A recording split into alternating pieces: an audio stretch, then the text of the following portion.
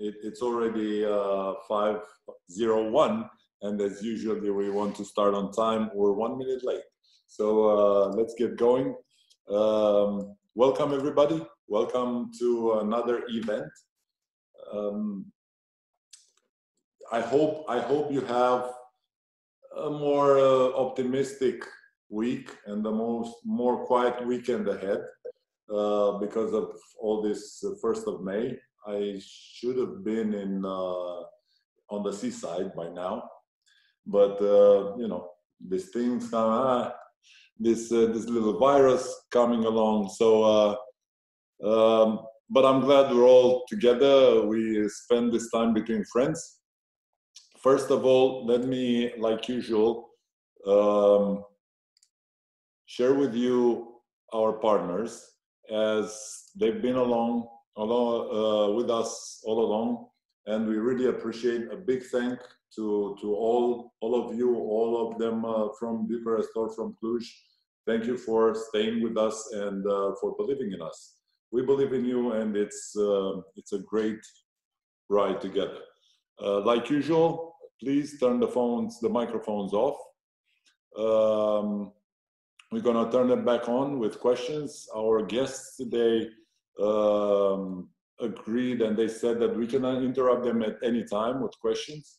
So uh, we can challenge them with, uh, with um, I don't know, ideas and, uh, and different uh, views or questions that we have to their stories. Um, we um, gonna have next event uh, with our uh, friend Alina. She's been with us before in our forum uh, when she was telling us you know, how to see those signs uh, about a recession. And uh, we're going to have a chance to listen to her right now on uh, Tuesday, the 5th.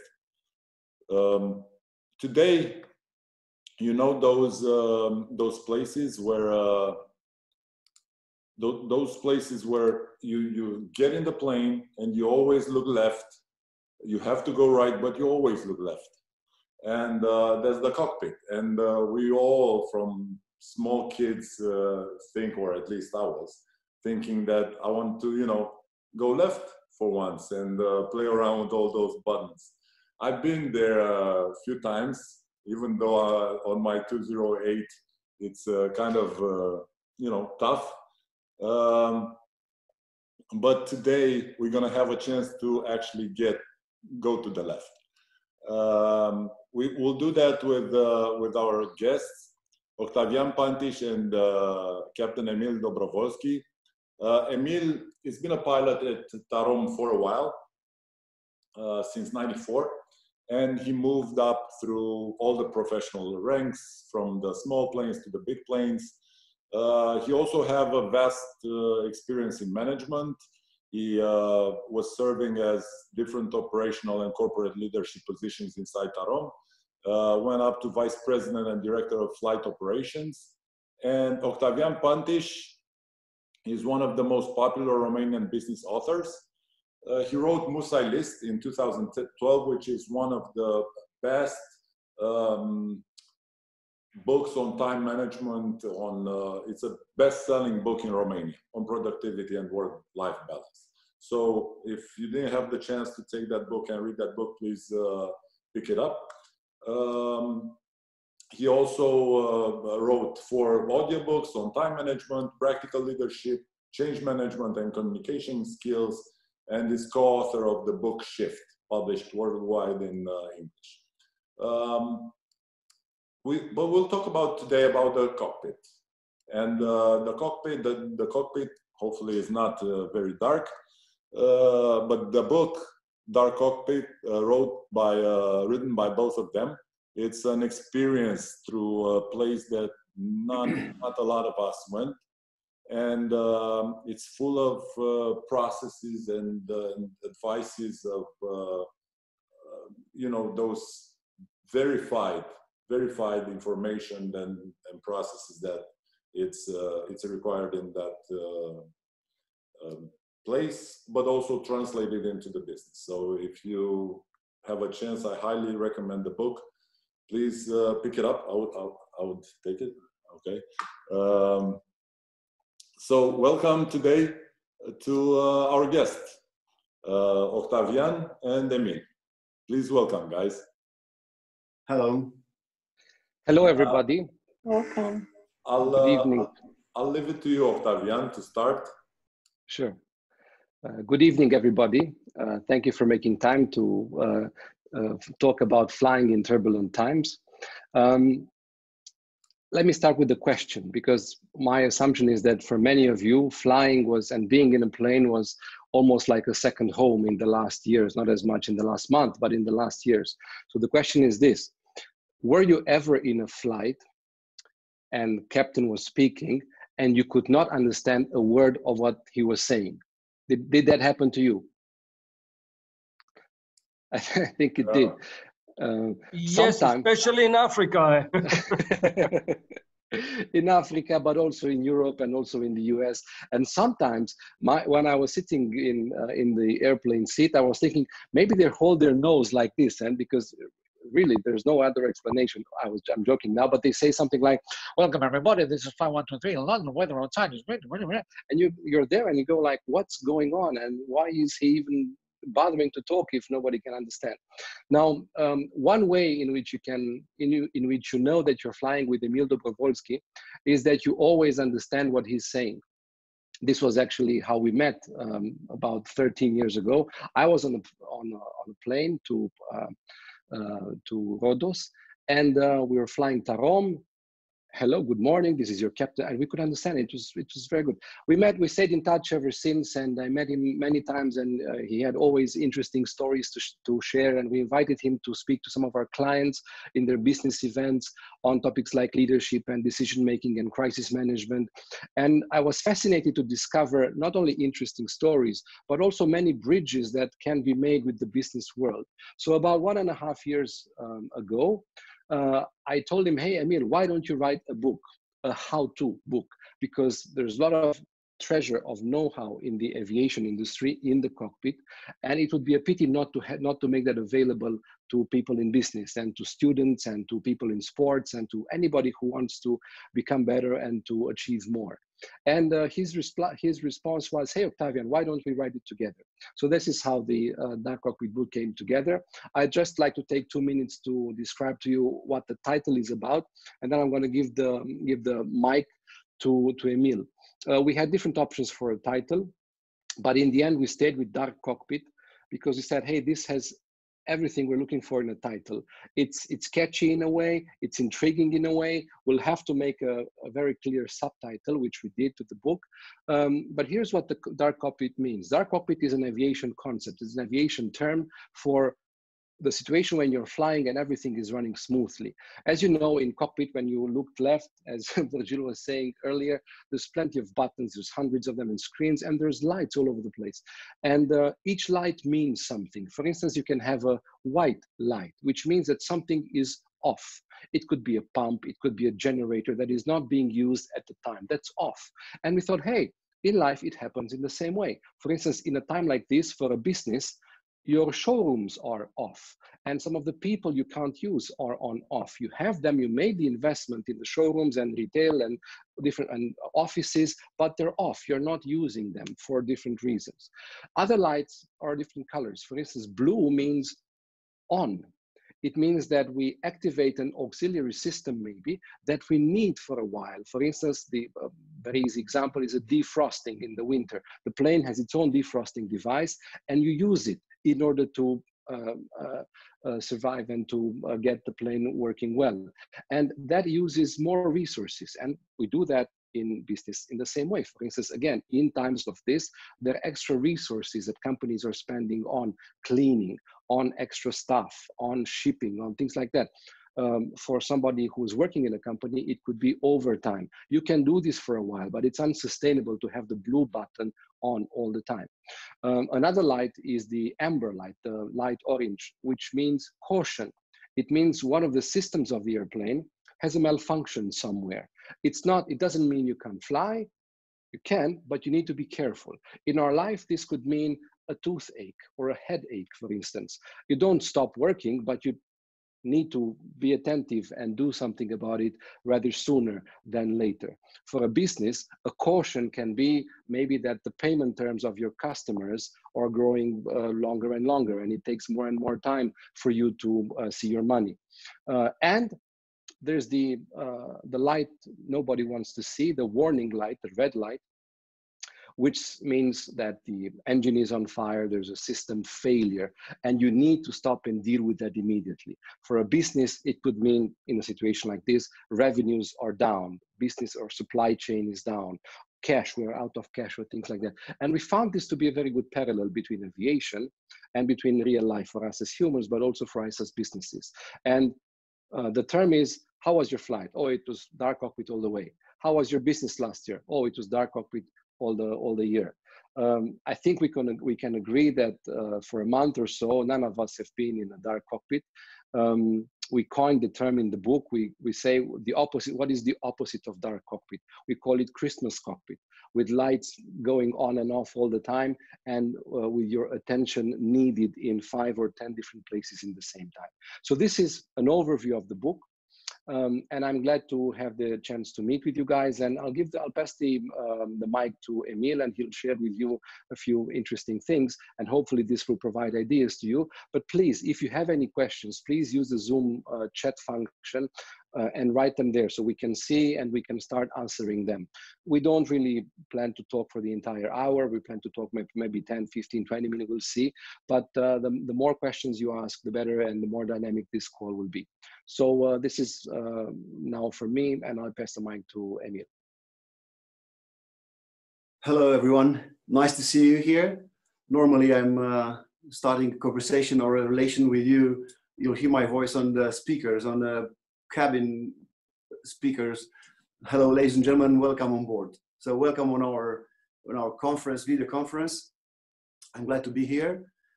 Um, thank you, Octavian, for the nice uh, intro. Um, these days, uh, there's no dark cockpit anymore. Not in my aircraft, not in, I don't know, maybe in some business but in, uh, in aviation, uh, everything is down. So for the moment, it's a Christmas cockpit. So it's very hard to manage. You have all the lights on, so it's very hard to check if uh, uh the things are going as you plan.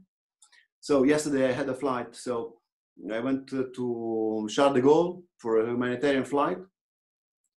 Um, generally speaking, I have three functions in my in my company. One of the most important is as a pilot.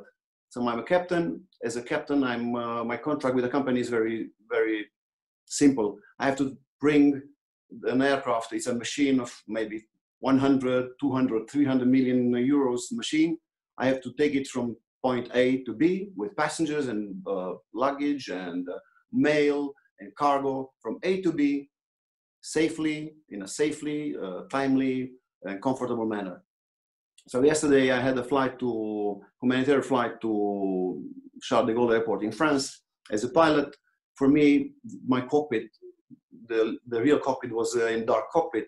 We were three in it, but we were dressed in uh, overalls. We had goggles. We had uh, masks, so communication was difficult. Let's call it the dark cockpit. But then when we returned, we had to take uh, about 40 prisoners. We have uh, half of the aircraft was full of police we had uh, some humanitarian, um, uh, half of the aircraft uh, passengers with some disease. We even had a six years old boy who was unattended. He, he came with us home to Romania. It took two hours and 40 minutes to, to uh, bring the passengers on board because everyone has to be checked. We, lo we lost uh, our slot for departure.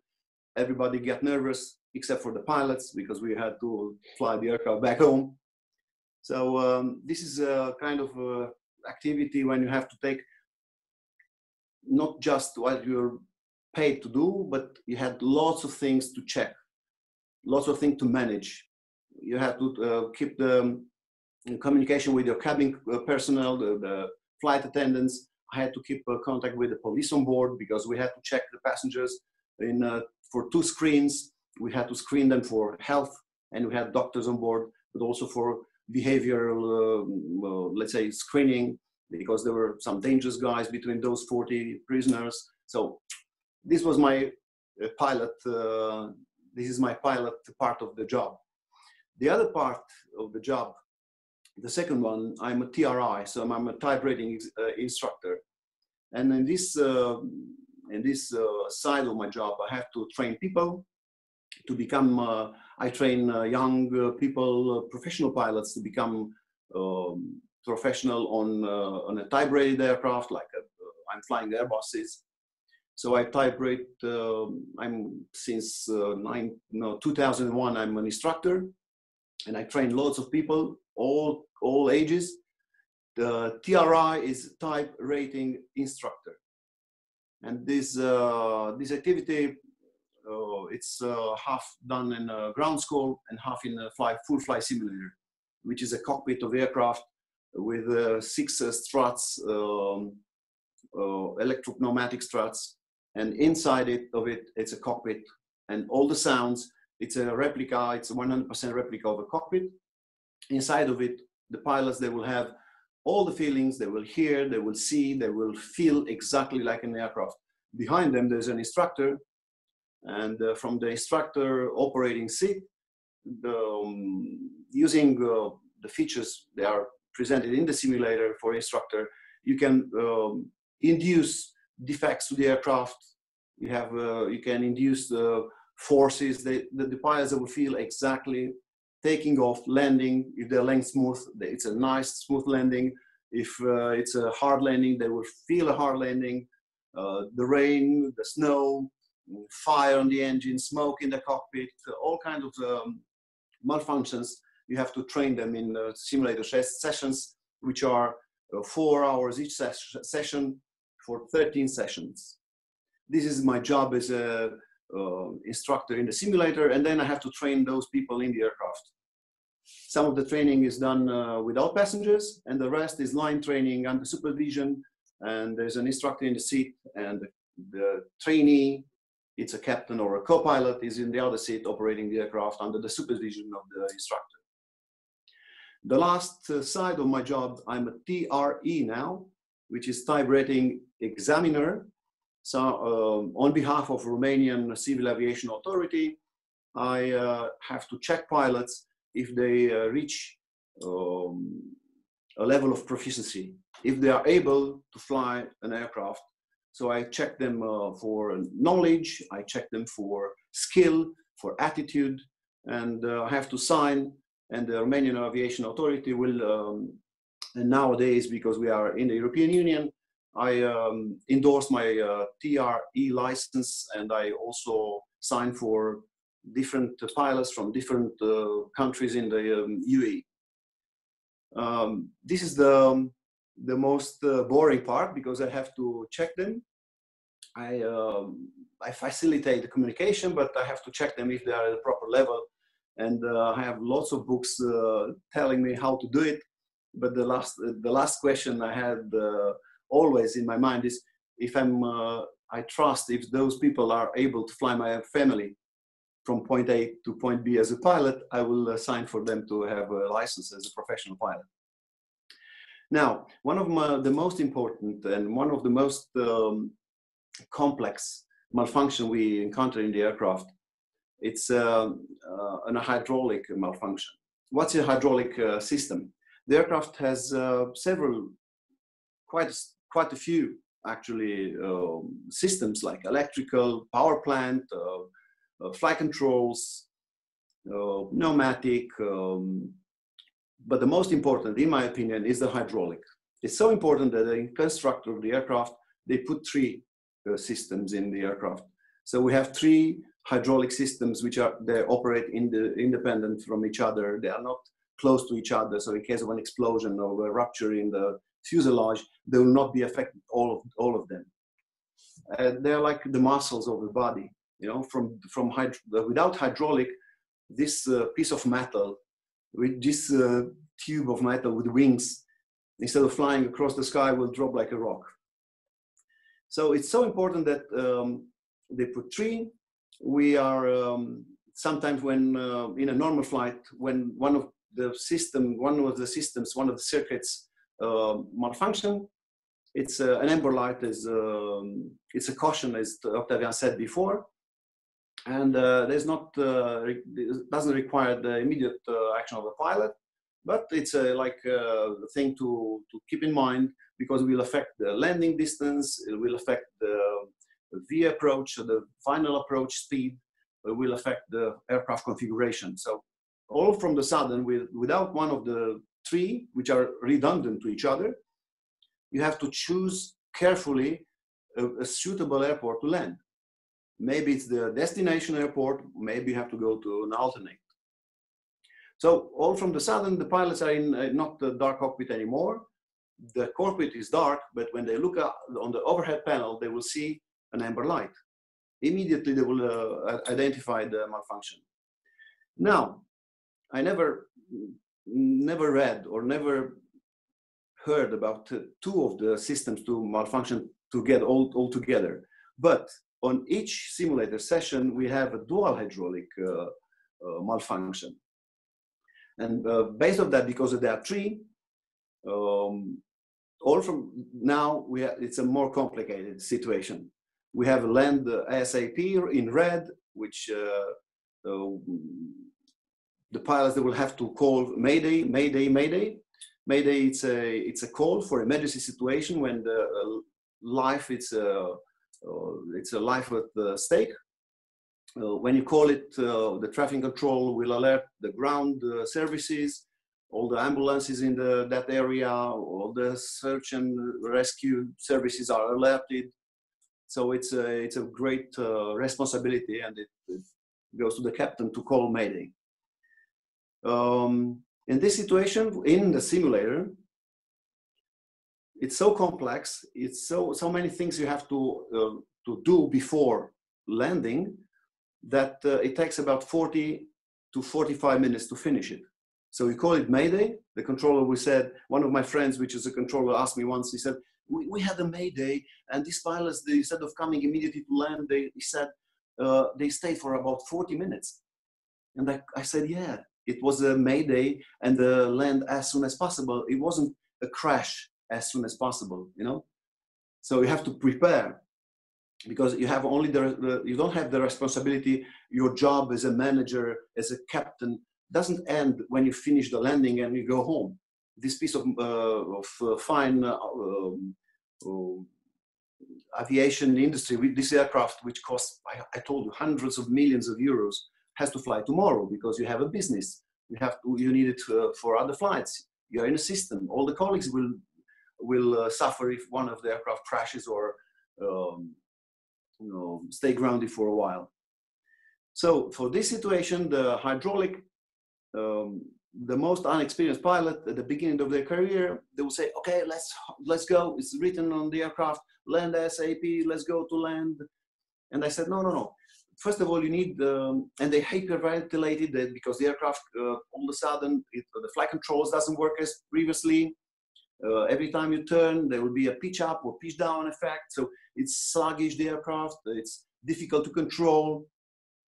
So everybody's so, uh, so um, stressed and uh, the, the pressure on them, it's high because, and as in, even if I'm instructor, even if I'm examiner, I see the pressure for those pilots because they want to perform well. Uh, normally we let this exercise for the last part of the session of the simulated session because after a while they will, will feel stress and it's not it's not a good idea to continue after dual hydraulic uh, to continue with other exercises you know? So uh, all the time when i'm training them i said okay it's a complex case. It's very difficult to handle the aircraft. It's uh, um, uh, never happened in the real life. But if it happened, what do you do? They know what to do because the, I hear a lot of saying which are funny. You know, the, you need the proper mindset. Yeah, good, but you have to know to, what to do all, uh, at the same time, isn't it? It's not just the. I like these sayings all the time. I hear now nowadays because I'm staying home a lot, and reading a lot. I'm I'm hearing lots of saying which are funny, but that they don't work anymore. You know, but uh, talking about the proper mindset, the mindset for a complex uh, case like this is to, to see what is, what is working. So first of all, you have two good engines. So you have traction and you have uh, lift. The aircraft is flying, isn't it? Good. first of all. Secondly, the human resources, you have two pilots, isn't it? You can share between the task or the, uh, you have task sharing, uh, each one has an area of responsibility. So you are not alone and you're trained, you're professional pilots. So what we have, it's a good aircraft which has two engines. You have electricity, you have pressurization, so nobody dies of um, hypoxia. Okay, yes, you can handle it harder, but if you press the, con the controls, you, you, the aircraft descends. Yes. If you turn it uh, respond to your commands, yes. It's a sluggish uh, response, but it, it can control it, isn't it? Now, you can fly it, you can live in it. Let's prepare for landing. Okay, so we take it step by step because you have to so you have to take a short-term decision first of all when the, um, the crisis um, strikes you because you have to fly first okay? Let's fly. Let's not drop from the sky. Secondly you have to uh, to navigate your aircraft somewhere. You have to make a, a long-term decision. Okay now i'm flying. I'm not crashing. Uh, where i'm going what what uh, uh, destination should I choose? I have to do some calculation. How many how many um, passengers? Where am I? If I'm going to a destination where I have no uh, commercial representative, I, have, I, have, I, will have I will pay a lot for the passengers to reroute them because this is the, the ticket I'm selling. I'm selling a ticket for a passenger to bring it from to fly it from A to B. If I'm landing at C, it's my responsibility to put the passenger on other aircraft, which sometimes on other companies, uh, which is not in alliance with us. So I pay a lot. I have to put them in the hotel, maybe. I have to pay them uh, a meal. So all this, it's a it's a commercial pressure also on the, the captain's shoulders. So all this to make the decision. And uh, in aviation, we never say I made the decision or I uh, now I came with this. We call it we built the decision. So I am taking the all the information I have. First of all, let's solve the mechanically the what the the, the case, the crisis, and then I have to take all the information I need from the air traffic controllers. I have to take all the information I need from the other pilot, from the flight attendants, the crew. Uh, in my job, what, what I like in my job is that when we close the door of my aircraft, I know for sure we all were a team. We are really a team because nobody's in plus there, nobody's in, in minus. If everyone counts, counts. Even the the last, maybe the unexperienced uh, first officer, or maybe the last flight attendant in the rear of the aircraft. And um, um, have to you have to take information from everyone in order to build your decisions. Sometimes the captain does nothing. You can see it there the aircraft is flown by the first officer because there's no autopilot, there's no automation of the, of the, of the thrust of the engines, and the captain does nothing. He just puts his uh, chairs, be, um, he pulled his chairs uh, to have a better overview and builds his decision. Of the unexperienced captains or managers, they will try to do everything by themselves, okay, because they are the, they are the best, and that's why they are the managers. They are the best, uh, in my case, they have four stripes. So I'm the captain, but I'm not an orchestra man. Okay, sometimes it's better to, to let the aircraft be flown by a co-pilot or use automation if you have it in order to let me think better.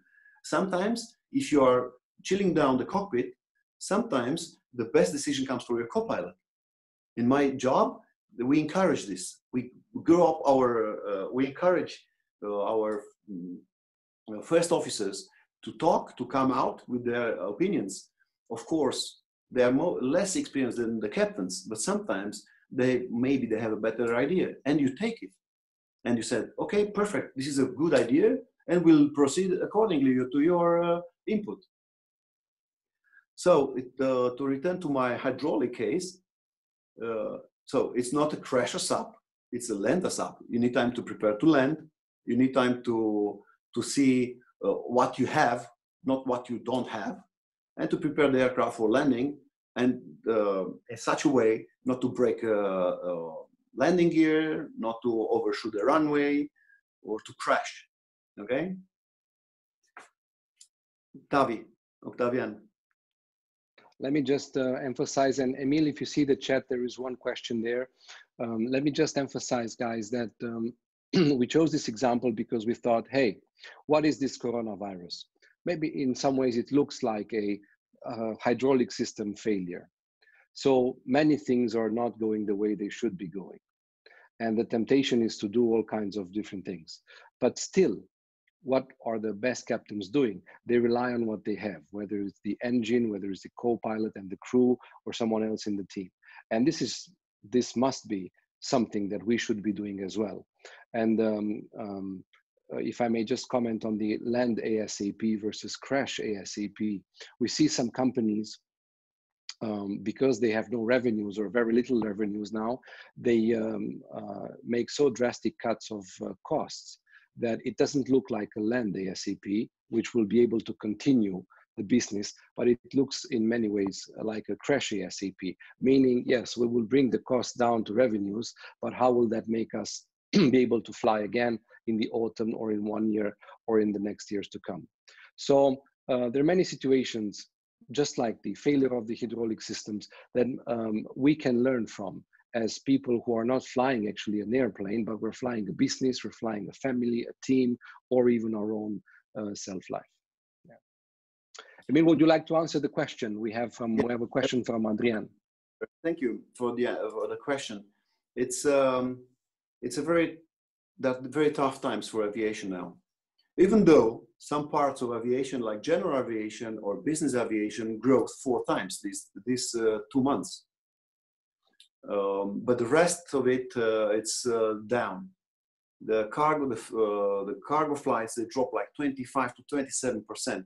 Even though in this uh, field there's a growth in uh, pharmaceutical uh, cargo flights from India and China all over the world, but the rest is down by 80 percent, 85 percent. Um, the best I read today. Um, some declaration of the BA, British Airways uh, CEO, they said that uh, they need maybe one year or two to recover. And also this, uh, the Lufthansa CEO said the same. So these days, I don't think uh, if the states, they, they will not help the companies to cope. The, the workforce, the pilots, um, technicians, flight attendants, they're highly skilled.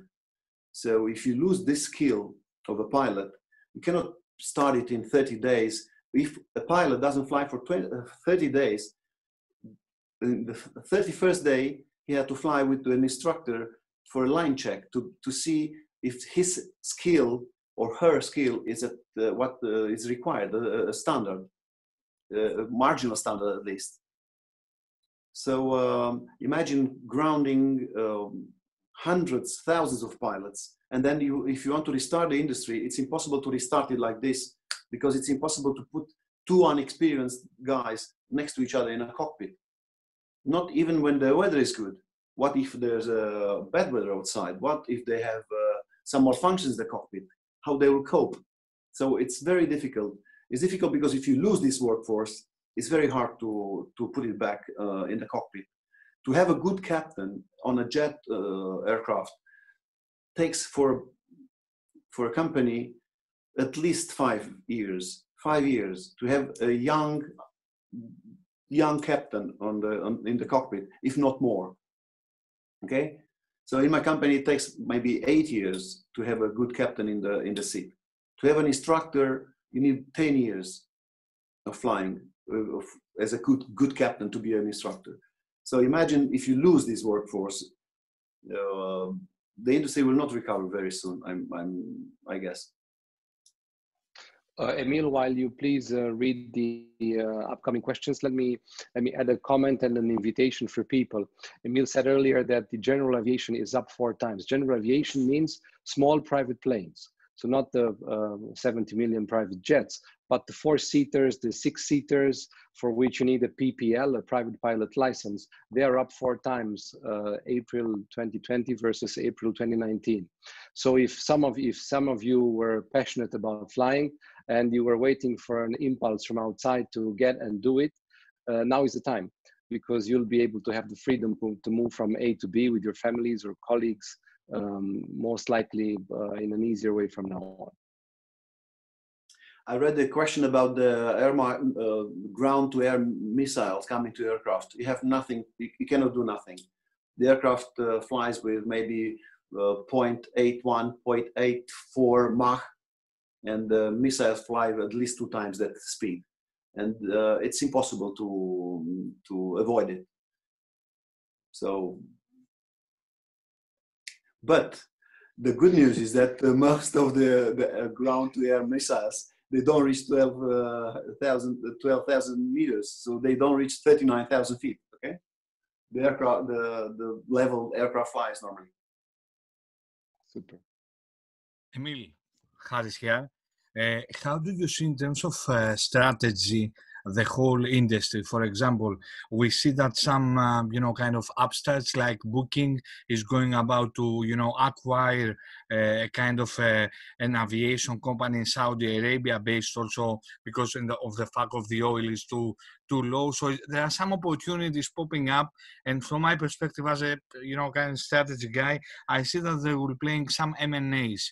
What do you see in Europe how I mean this will affect the morale of the existing uh, people that they work in the industry. If you can elaborate a bit, I would really appreciate it.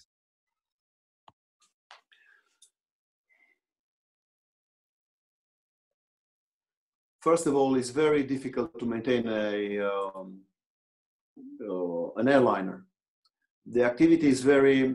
Uh, a few years ago, when they had a good year, even though the aviation industry they contribute with uh, uh, about 10 to 15 percent to the GDP worldwide. Uh, the margin of profit is 1.2, 1.3 and there were times because of the price of the uh, oil or because of the price of uh, uh, insurance maybe when they, there was no profit for years. And something like this comes comes on. And i told you that the aircraft is very expensive and mostly around it, uh, the aircraft is the aircraft is, is, very expensive. The crew to maintain and pay it's very expensive. To and train the maintenance is expensive because you have to do it uh, every day, every month, or uh, major checks, which costs hugely, uh, huge amount of money. The insurance is high, so this cost uh, around an aircraft makes makes it um, you know, with a very very uh, little profit margin of profit and uh, yeah i can see opportunity in this but nowadays uh, you, you can buy aircraft because they're they're not on uh, on the uh, waiting list anymore like before. If you want to buy an airbus now you can buy an airbus. If you want to buy a boeing they're on the tarmac waiting for you to buy, to to to buy it. But i don't see a, a recover soon because uh, um, and, there are stages in a, in, a, in, in, over the year, and we lost one of the most important one now. I don't see the the holiday industry to recover soon, and which is an important part of the of the transport, the air transport. Yeah. Another thing, and I couldn't agree more with you, um, is exactly as you said. I have uh, been interviewed in the past by McKinsey. In one of the cases was in, in airline industry, and you know by crunching the numbers, we realized that if you are a European airline industry, you need to have 60% capacity in order one flight to be profitable. Having said that, uh, and according to social distancing measures that is applied to every industry uh, how do you see a bit of you know kind of future thought? If we wake up after five years uh, are gonna be you know airplanes like with uh, social i mean that count two people per S, and uh, you know, it, I mean, do you have some ideas how a future airplane would look like, or do you believe that uh, it will not be, or it can be produced from uh, big um, players like Airbus and so forth, or do you see just as it is a bit of recovery, three five years, and then nothing, nothing innovation, no digital transformation, no product uh, development of the existing uh, aircrafts? How do you see the, the industry evolving? First of all, I think that this coronavirus uh, virus uh, crisis will end soon. Otherwise, if you start uh, thinking that it will stay with us for years, nobody can tell you how the future will look like. But uh, my, my, I'm an optimistic, and I feel this this summer we'll get rid of this uh, uh virus uh, thing. So they will, we can start flying again. Because if you fly an aircraft with a social distancing, yesterday when I told you I flew to to a humanitarian flight, and we were all dressed in overalls with goggles, which you know, they become wet. It uh, makes you not see well. And we have masks. And the passengers, we gave them masks and gloves.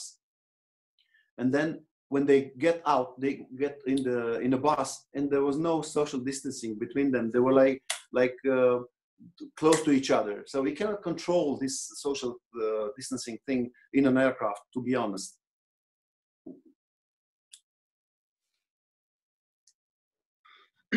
Octavian Emil, um, hi, nice to see you here online. Uh, I have one question, um, which is very important from one perspective. Uh, during this problem, the measure that uh, both uh, you and Octavian mentioned before, uh, that the companies are taking, you know, it's very important how the people uh, are reacting, meaning the employee and the teams. Now, all of us know already that the pilot syndicate is something very strong and powerful. And if they want to, to mess our world, they can do it easily. Uh, I'm very curious to see how they are looking at this situation and how uh, cooperative are they and how, how deep is their understanding and their support for the future recovery of this industry from business perspective, especially and, and the future, of course. For the moment, uh, in my company, in my flight, in my fleet, uh, we are only 11% of the pilots flying. The rest of them, they went home with 90% off their salary or the, the income they had in March, like. So uh, there are tough times. And I'm also in the union, a pilot union, and I see them uh, they, they look for the future, you know, because if you do now, what, what can you do now? To put pressure on who? They understand the situation and we all hope for the, the next months to, uh, to be better. So now if I, uh, I put, I, if I do some union uh, action now, I will put, just put more weight on the shoulder of the company shoulder. It will not solve a thing. And I, I, I read because we are now uh, associated with some uh, um, trade unions from outside, from UE, from the uh, United States, and they all they all agree on that. No, uh, no uh, union actions for the moment. Everybody's waiting to see what will go on. What is going on? Maybe a good way to look at the situation is to look ahead and also um, responding to Jares's question earlier, is to look ahead and look at two periods. The first period is the one that we are in, which lasts until either the virus naturally slows down or there's a, a medicine that you can take or a vaccine. Until then, it's probably very fuzzy and very turbulent, and it's what we're feeling now. And then the second period is what happens after afterward. When we can say, oh, yeah, the coronavirus, if you had it, take this, go to medicine, you'll have a treatment for that. And this period is very turbulent, and this period um, does not look good in any way for the travel industry. And even when the second period starts, this first period will have some consequences on the second period because now you cannot fly you want to fly but you cannot. But maybe um, uh, in the spring of 2021 um, you won't have the money to do it. The flying will be there because you don't have a job, or people in large masses will not have a job and will not afford to fly halfway around the world or to a different to 2,000 kilometers away for a holiday, but they will still have to stay home because their budgets are down, or maybe because uh, some of the largest companies, which occupy many of the airplane seats throughout the world, they'll say, hey, we did it so well in these virtual things, whether it was Zoom and WebEx and so on. Why don't we keep doing that? And only instead of flying five times a month, let's just fly uh, once a year for that big particular summit. So uh, overall, the aviation uh, industry is, is has a big question mark uh, on it, which makes it uh, very disappointing because um, up until last year, if you looked at the order books of both Boeing, even with the problems with the 737 MAX and also to Airbus, the airline looked uh, completely different. There was no, and we were discussing with Emil that there are not enough pilots in the world to be able to fly the planes that were ordered and paid for or uh, hard signed for in the coming years. So it's interesting how that industry shifted in just six months. And the question, of course, we're curious about the industry. We love to fly, we love to be in places and everything, but we, we should be even more uh, careful when we look at to see about our own businesses. What will happen to our own businesses, to our own staff, to our own union, whatever teams we have in ourselves, and think about what will happen from now on for that. Any other questions, my friends?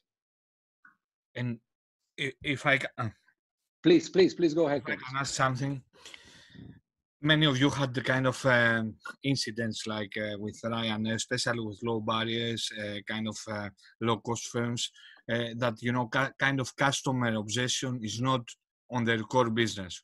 So we have the big companies and we have this kind of low firms that they don't care about you.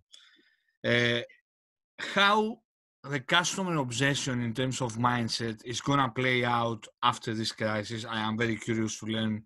You know, your buying on this. Would you like to go first, Emil, or shall I? No, please. Okay. Yeah. So there's um, in the in, and you're correct in observing that in the past years these low cost companies uh, and let me just speak for a few moments about them because Emil wouldn't he's so polite and he's so and his his integrity level is so high he, he would not do it there were there were so many corners cut in the operation of these airlines keeping safety and keeping everything but not providing one penny extra. That is just is just amazing. Let me just give you an example again. Emil will not give this example because he's um, uh, too okay to do that. But for instance there's there's something that is known as the daily check of an airplane. The daily check. Now the daily check of an airplane needs to be done daily because that's the name daily comes from. And but the book because the people are wise and the people are experienced. The book says, if for some reason you cannot do it daily, then as an exception, you can do it every 36 hours. So you land the plane in Siberia somewhere, you, there's no crew, it's 3 a.m. in the morning, and nobody, okay, can do it. Some of the um, um, low cost airlines, as a practice, they're not doing the daily check daily, but they're doing the daily check every 36 hours. And that's the rule. And the exception is that they do it daily. So they've pushed all the rules and regulations to the max. And also the uh, the incident um, a few years ago with the Germanwings when the pilot uh, went out to the restroom and the co-pilot stayed in and he took the pilot. You, you probably remember the incident. Uh, that was again because many many corners were cut. So from um, um, from a from a certain point of view, as a passenger, we cannot be happy that this coronavirus is, is, is happening. But we can hope that as things move on, they will again um, begin to care for what matters most, and that is safety and is the happiness and the uh, um, joy and the um, um, um what is the name? The uh, not the happy yeah the happy let's call it the happiness of the customer of the satisfaction yeah. Yeah customer satisfaction yes I, I couldn't find the word. So we can now we can hope. But what we can see now is that their priority now and in the coming months, the priority is to make some kind of money with cargo. You see many planes uh, um, doing routes with cargo, passenger planes. They were converted planes, uh, seats taken out and converted to cargo planes. Their focus now is to make some money, but hopefully in the second period that I, that I mentioned earlier, when you will be able to fly legally and social distancing and the medicine is your pocket so everything is fine. Will you want to fly or will you say oh let me just take my car to greece and let me go let me drive from bucharest to vienna again or maybe even to italy rather than fly? Then uh, the attracting customers will probably become again important for airlines and they will focus on providing the value that we were used to years ago and that in some of the companies we lost in the recent years. Let me uh, about your question, um, uh, the no frills companies, they are run by some very smart uh, entrepreneur. Okay, so they'll try to cut the costs on each item they can, it's not uh, something to, to judge or to punish, isn't it? But uh, if, the, if you let them uh, be, their imagination will go up to what uh, the CEO of Ryanair proposed a few years ago, and he tried to convince the European Union and all the, the states that it's feasible, is that you can put more passengers in aircraft if they, if they uh, just lean standing up to a seat Okay, so you can put more passengers like this, standing up, leaning back on a seat, not sitting down. And he was uh, uh he was uh, uh, serious. He was he was not joking about it.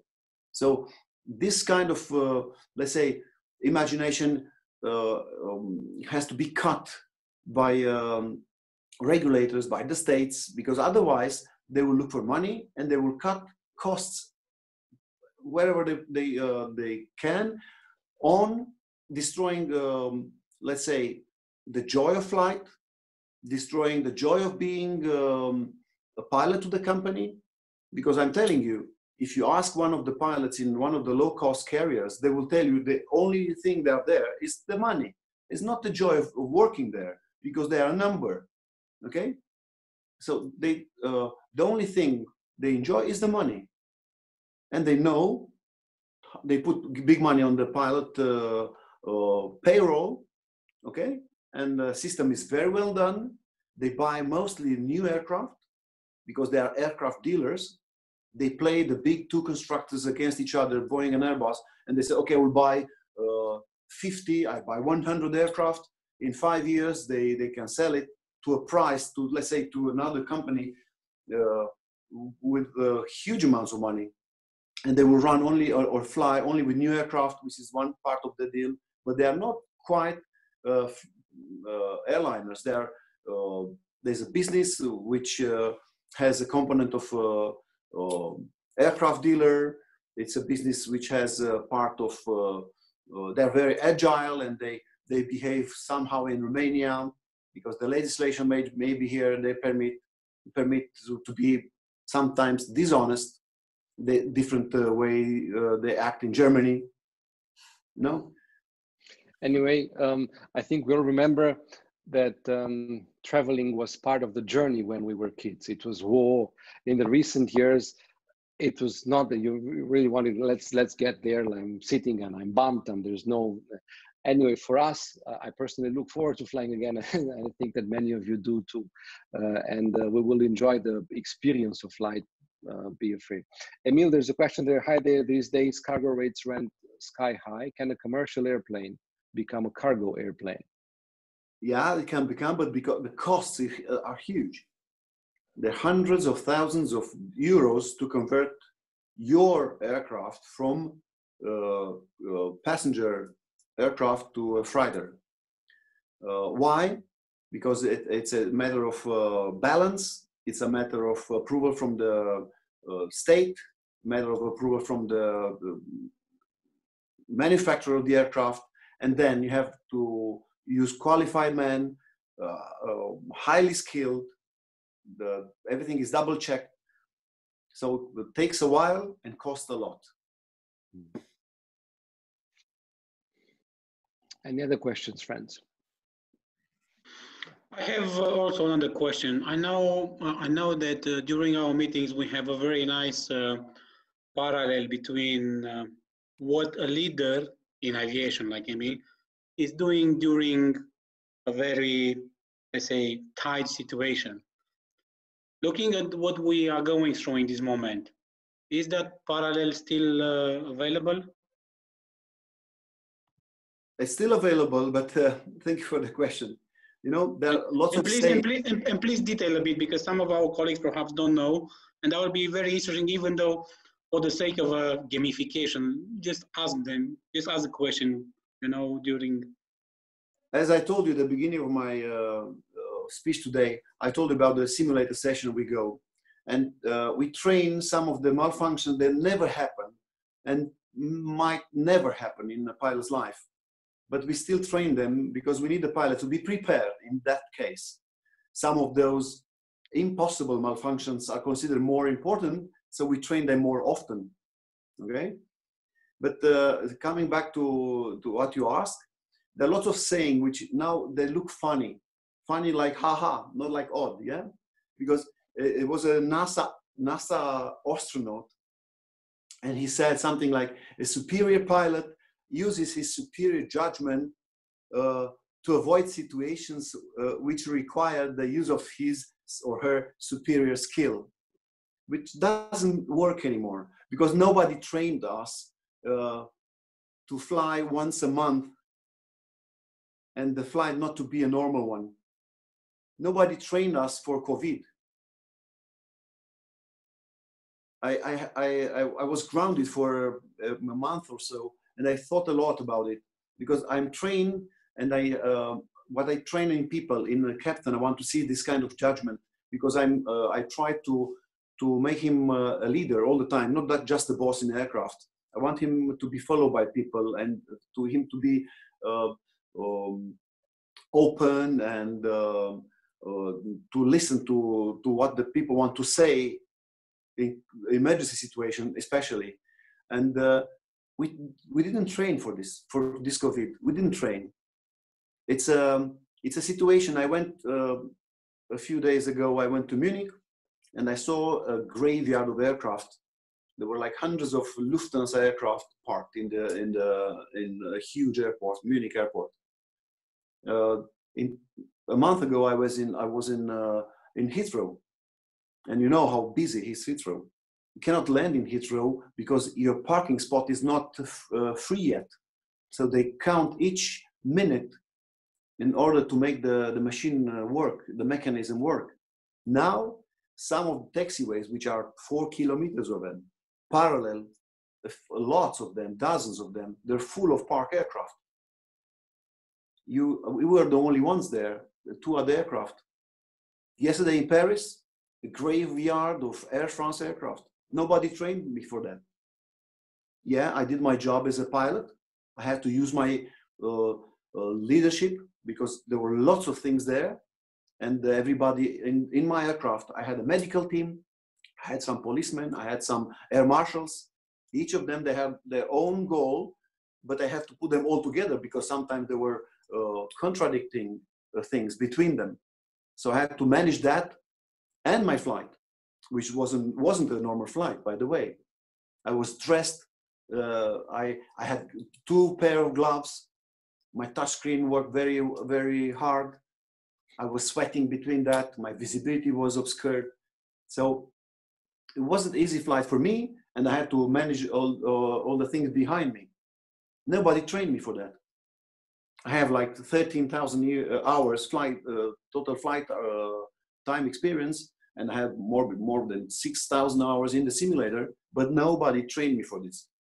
So in these times, a true a real leader will find the resources to uh, rely uh, rely spe- especially on the in my opinion on the workforce, on the colleagues, and then not to crash. Fly the aircraft, fly, navigate the aircraft.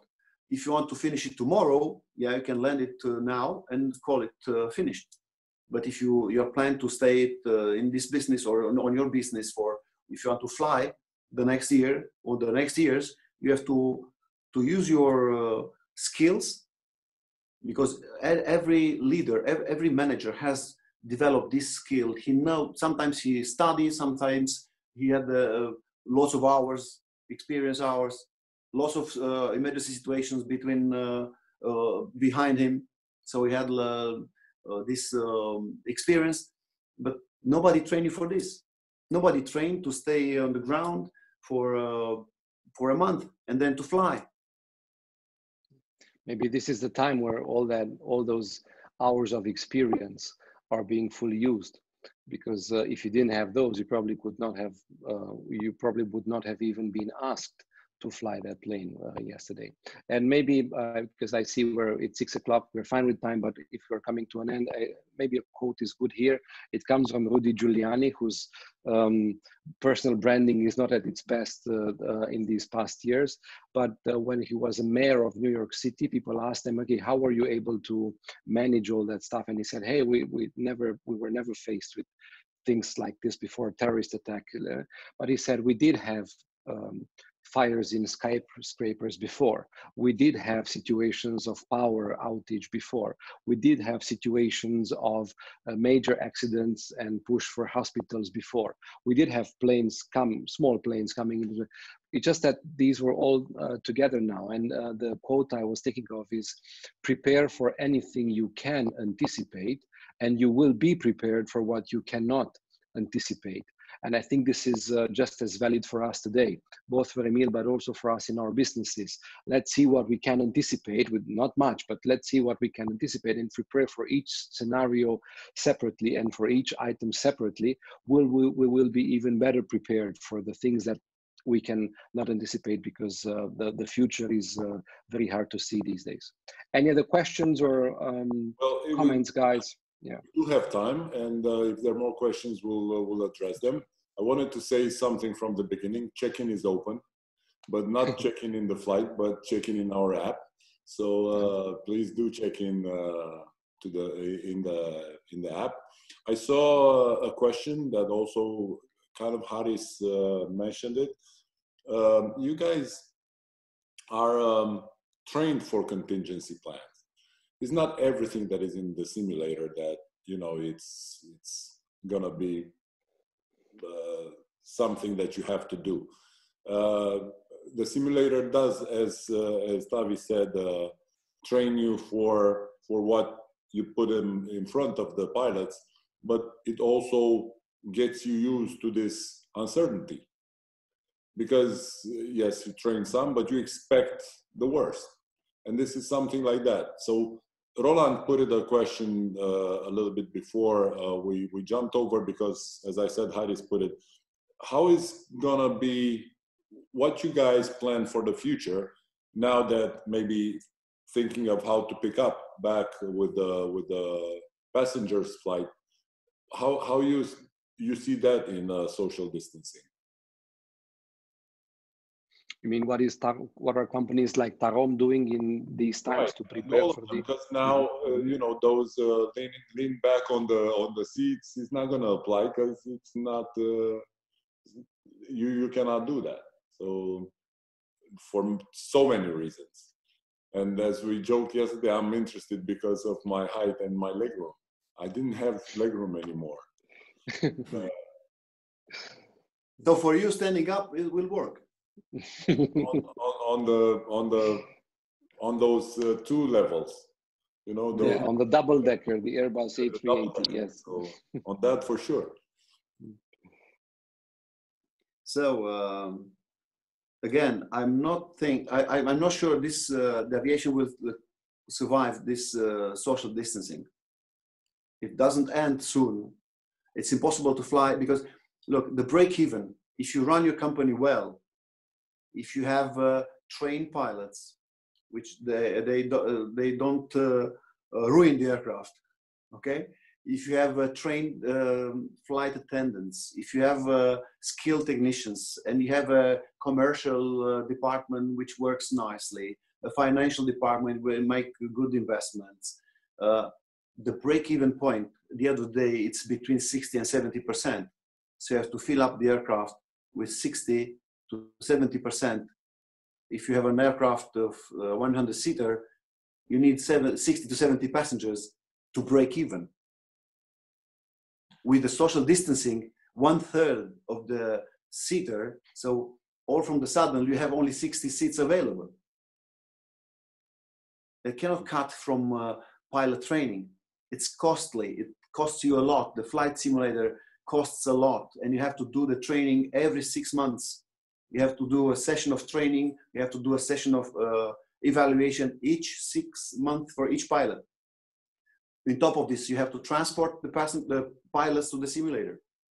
If you have a simulator, a machine in your yard costs you hundreds, millions. It's 10, 15 millions euros a, a full flight simulator. So you have to transport them, you have to give them uh, accommodation, per diems, and so forth. So all in top of each other, you say, okay, it's, it's too much, uh, we have to cut costs from the pilot training. It's impossible. Because if one pilot, which is not trained per, uh, properly, crash one of the aircraft, your business going goes down immediately because the customer um, know, they will not trust you anymore. If you have a bad uh, bad uh, name in the industry, never nobody will fly with you.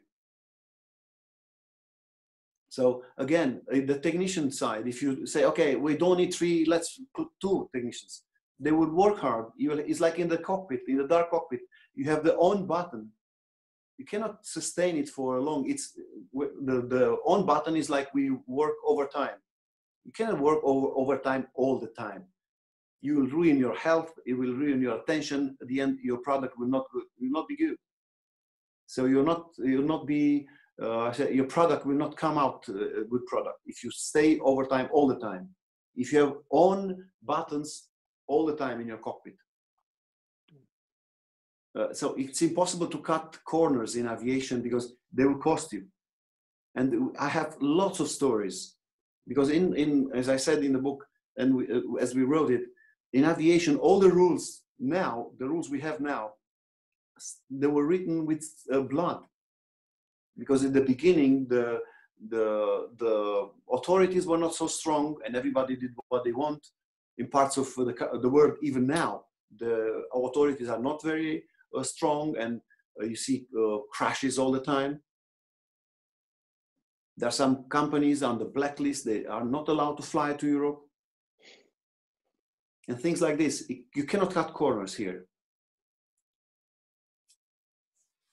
there there there are discussions about the um, the states financing that one third of the planes, but um, uh, nothing is really decided because that's not uh, were very well feasible yesterday.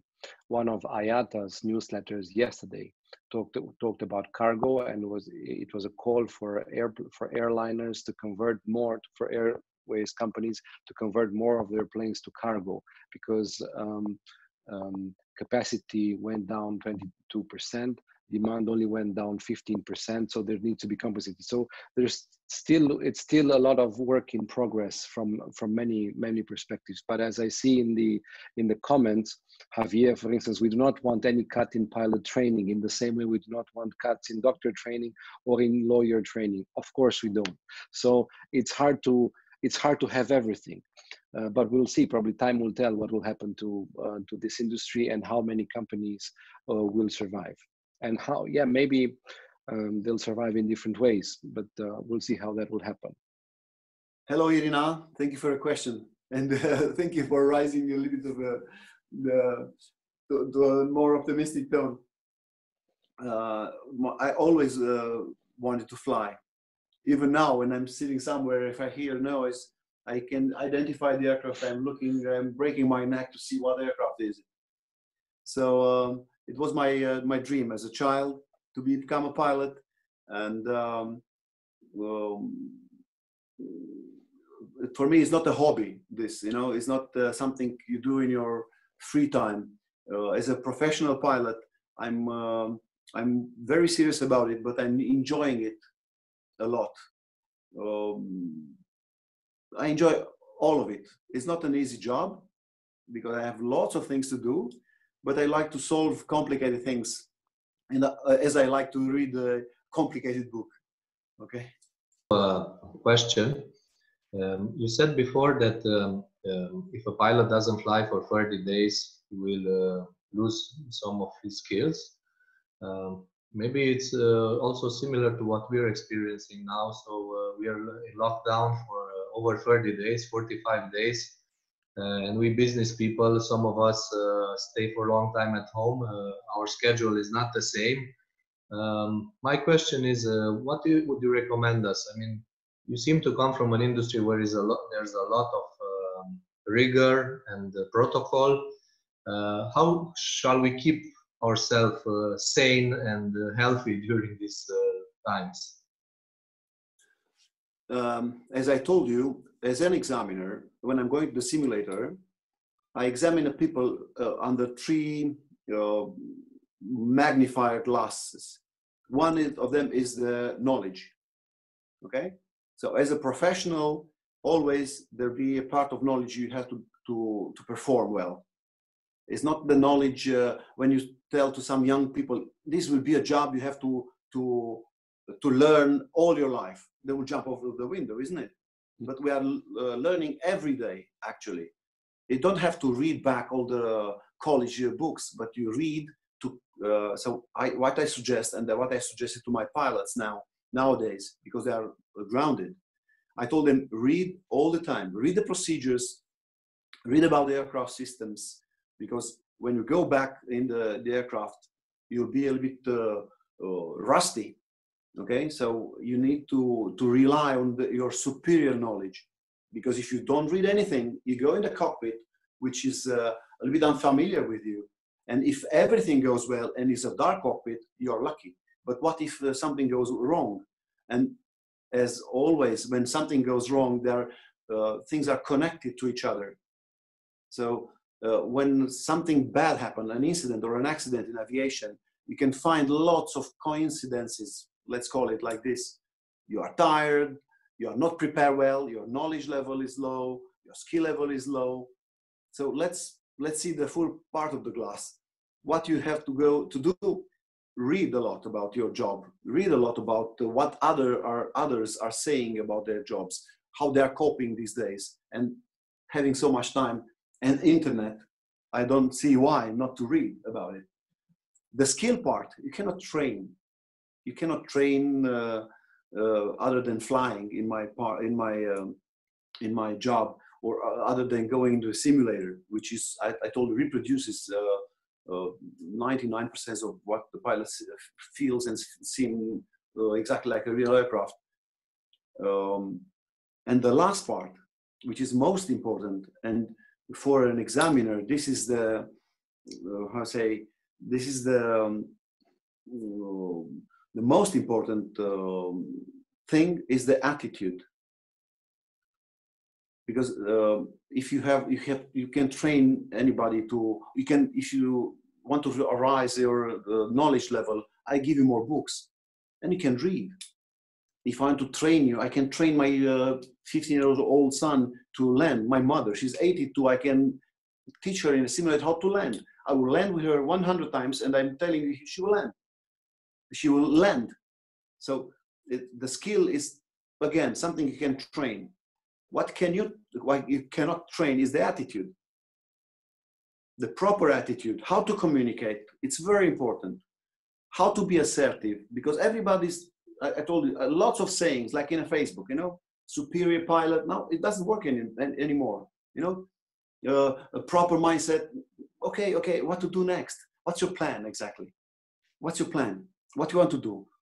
A superior, no, it doesn't work anymore. So the attitude uh, is something which uh, doesn't, you cannot read about it. If you try to learn it from a book, it's impossible. It will come out of your experience, it'll come out of your uh, knowledge of the aircraft, knowledge on how to uh, behave in a group, in a team, how to deal with the uh, malfunctions, uh, how to put people together for an outcome this is a um, so my advice is to read a lot and to try to be uh, assertive, open, communicate with people in your team, be honest. This is my advice. For that. Uh, I see there are no more questions. Um, Tavi and Emil, thank you. Thanks a lot for uh, for your speech. It's uh, it's great to to take a left into into the cockpit uh, for uh, again dark cockpit it's uh, it's a it's a journey. It's a journey to that uh, cockpit uh, dream and to the processes and to all the stories. Thank you for the first-hand story and uh, we really appreciate that friends we I, I wish you good days so, uh, first of all, Emil and, and Octavian, thank you, guys. Thank you very much. Thank you. Thank you for your time. It was a pleasure to be with you.